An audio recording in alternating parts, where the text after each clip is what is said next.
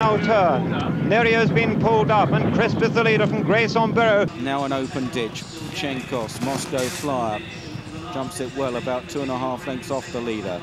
And then Azertyuiop.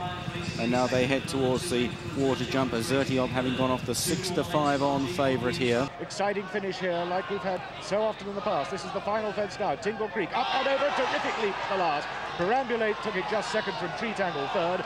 Running for home now, and Tingle Creek, I think, is going to prevail. Perambulate is the danger now. Perambulate running on very strongly, but I don't think he's going to quite catch Tingle Creek. On the first circuit, comes to it now. And again, he stands almost outside the wings. And he clears it still with a lead of two lengths over T for two, who has now come through to take second. Von Romane over the next on a very good stride there. Fantastic jump from Altior over that plain fence. Now on to an open ditch. Altior coming in to take it. In a little closer this time. Very clever.